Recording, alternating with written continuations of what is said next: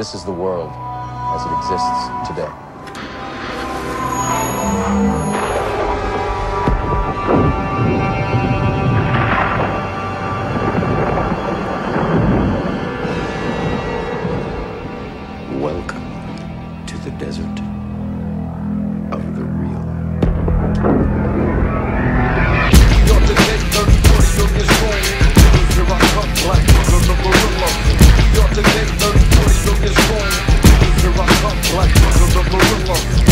to make